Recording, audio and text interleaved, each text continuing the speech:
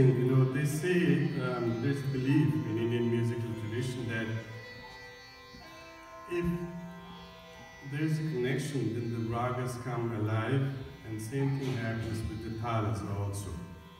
When I was doing the sound check, I was uh, playing the same tal with him, and I was in doubt.